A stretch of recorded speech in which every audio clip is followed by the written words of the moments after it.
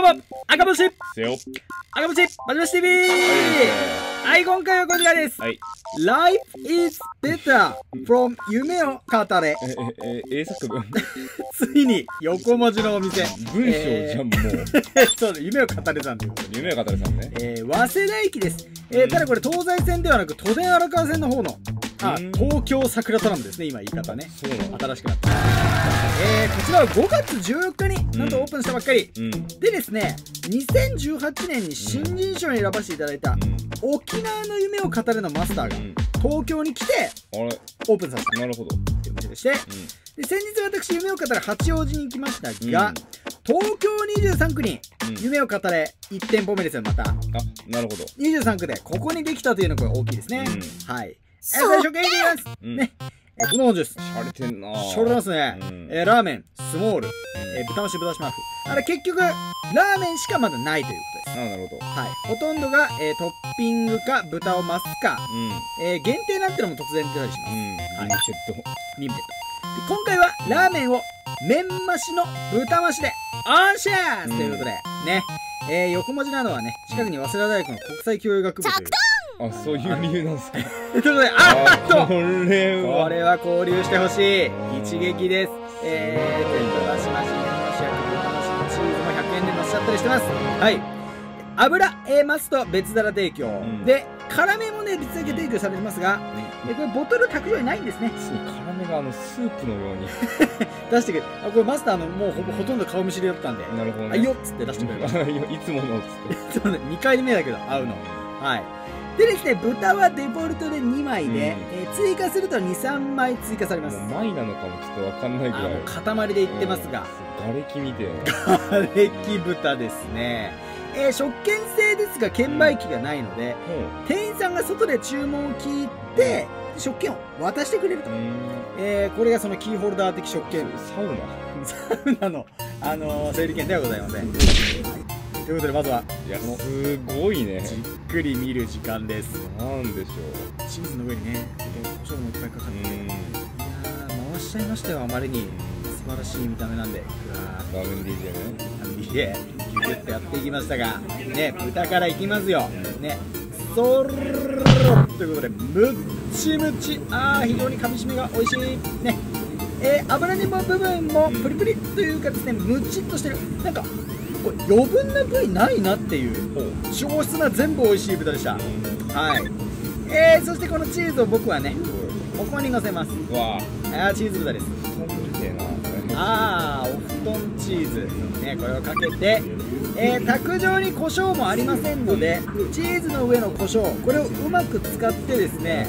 はい、えーチーズペッパー豚として食べると美味しかったです。貴重な。はいそして油野菜ですよ、えー油かなり強めのね味付き。甘甘油。ね。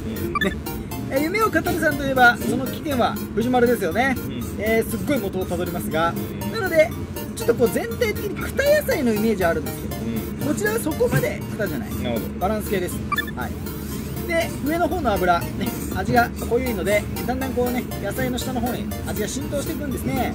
でこれで野菜全体に味がついていくというのがすごい美味しかったです。はいで茹でた野菜そのままね乗せちゃうとなんかパサついてしまうんですけども家でやったりするとね。やっぱりこのテカテカ野菜になるのがただ油でね。そうなんですよ。コーティング野菜がすごい美味しかったということで麺ですね、えーデフォルトは25スモールが150麺増し100ということで、まあだからスモール頼んだ人150で麺増しはもう100追加されるんで。これ350。あそういうことです。はい、なんかもっと多く見えます多く見えますよね。うん。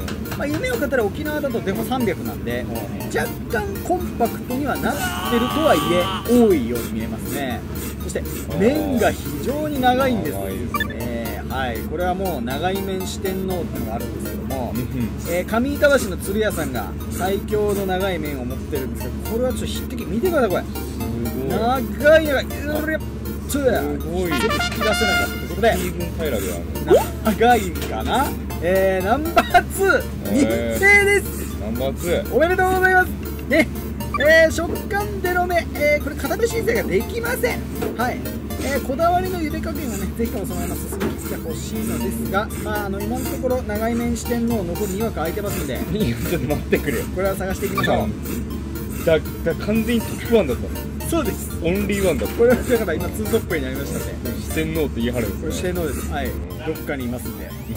見つけに行かないと。いますからまたまたえー、そしてスーパーこれ非乳化あー微乳化ですかね、うん。はい微乳化です えースープ自体のしょっぱさそこまで強烈ではない、ん。ですが素材の出汁の美味しさが強く出ている。味わいスープという感じがしました、うん。はい、ちょっとうまく言えないですけども何回も何回も口に運んじゃうんですね。ちょっと中毒性のあるスープに思いましたえーマスターもそこまでしょっぱく作ってないというふうにおっしゃってました。えでニンニク情報ですが沖縄ではですねニンニク油唐辛子を合わせたギルティというトッピングがあったんですがこちらでは実装はしてないかもしれません。なるほど。はい。後あるかもしれない。あるかもしれない。それがスパイシーというトッピングがもしかしたらギルティいやわからないですそれは。えー、ですがガリティの現在はあります。ねちょっとちょっと前だからさ。すごい使っていきますね。もう忘れてんのに。ちょっと前なんだよあれ。上下感出てますよでもねちょっと前なのよちょっと前ね。はい、えー少し肉活的な素材も多めなんでいいですね。何が起こるかわからないのも。何が起こるかわかんない。飯が出てくるだけ。だけっていうのはあるけど美味しいよ。はい。美味しい飯が出てくるから。味付け結構しょっぱめですよね、あれ生卵を買ってですねはいつけ麺風にするってやっぱり定番なんですけども、えー野菜に食ったら乗せる食ったら乗せるみたいなふりかけ効果で食べるのもいいでしょう。別皿油見たことよくやったはい。えー、そして返してよ結構くれましたよ、ね、しょっぱレベル確認していきますがこれは4点あら5なんだ4.5いきますね4.5結構しょっぱいですよ結構しょっぱいですね。はい。分かってくれるんだ4.5でなんなら聞かれましたからね、やっぱりいくつか。4.5じゃないんですよ4.5なるほど。えーえー開始塩気、えー強めですね。しょっぱさはあまり目立たないようにスープは仕上げてある。ちなみにこのお店の裏にですね、武蔵野油学会総本店、早稲田総本店、それからラーメン一条もあるんで、えー、総大生のカロリー偏差値上昇中です。はい。で、慶応には三田次郎本店ありますよね。上智大学だけがですね、周りに一軒も二郎系ないんですね。なのでこれを見て、あ四谷に出したいよっていう方いたらぜひとも、四谷です。はい、四谷だけないんだよね。へはい。まあちょっと歩くとラーメンイエローさんあるけど、ちょっと遠いかな。っていうことで、まあそのほら、90点、ー9、クォークっていう会社がありましたけど、クォーク、クォーク、けなんかあった気するけど。人材派遣かな。人材派遣、四谷に人材派遣、四。谷に。縁がありますな早稲田だけど今回。だけども、いやーそうあの早稲田周りにはね、そのはい。一条と、うん。えーまあ、油学会さんとかあるけども、あの恵比寿豚麺といううん。混ぜそばのお店もあったりして、うん。まあ、まあ、ぶっちゃけうん。高田馬場から歩くと、うん。大量の、うん。まあ、二郎系ありますから、ソうん。フトポンとか何かと立夫さんとかね、いっぱいありますから、まあ、いいと思いますけど、こっちの周りはね、さもしい。楽しい。さもしいんだよね、本当に。一番えーっと、うんまあすごい飯が食えるのは、あーどあーどうかな。あ赤坂離宮とかかな。赤坂離宮赤坂リ いやあのあのあのバイデンさんとかが来賓で来る建物があー道理でわかんないわけだそこのうん飯が一番すごいかなっていうことでね。すごさで見てる。何すごいすごいですあのまとまりにくい話になっちゃったけど 夢を語れたはこれで都内2店舗目ということで、まあ、他にも行ってない夢を語れまだまだあるんで、えー試してみたい。とはい思います。はい。